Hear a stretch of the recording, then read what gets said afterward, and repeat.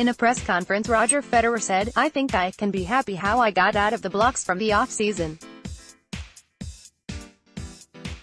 I think I started to feel that, midway through the first set already that it was going to be difficult for Denis to get into my service games. That relaxes you from the baseline. Then good things really happen.